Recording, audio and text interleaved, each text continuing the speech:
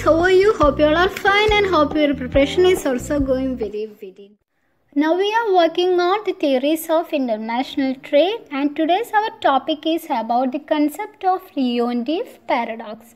Actually this concept is a continuation of our last lecture that is the Heckscher-Ohlin theory.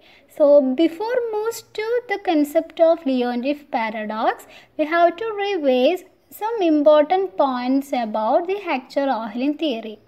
So according to Heckscher-Ohlin theory a Capital intensive country would specialize and export capital intensive product and import labor intensive product. And similarly, a labor intensive country would specialize and export labor intensive product and import capital intensive product. So this is the mechanism of trade according to Heckscher-Ohlin theory.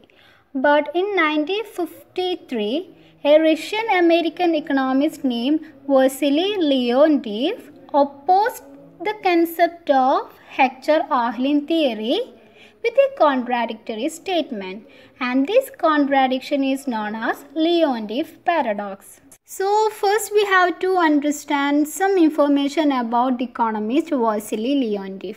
Okay. Vasily Leontief was a Russian American economist who made several contributions to the world of economics and he was credited for the concept of Leontief paradox and composite commodity theorem. And next, he won Nobel Prize in 1973 for his research on input-output analysis. This is not this point. He won Nobel Prize in 1973 for his research on input-output analysis. And based on this input-output analysis of international trade, he discovered that US is actually capital intensive country. Okay. So according to Heckscher-Ohlin theory, US have to export more capital intensive product and import more labor intensive product. But surprisingly, the facts he discovered from his study were completely paradoxical or opposite to the study of Heckscher-Ohlin theory.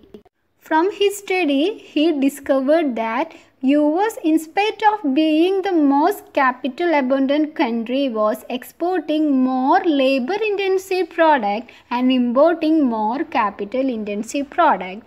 Since his conclusion was paradoxical or inconsistent with the study of Heckscher-Ohlin theory, his conclusion is known as Leontief paradox.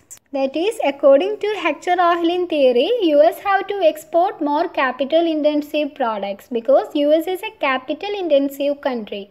But Vasily Leontief's conclusion from his study was completely paradoxical and opposite to Heckscher-Ohlin theory.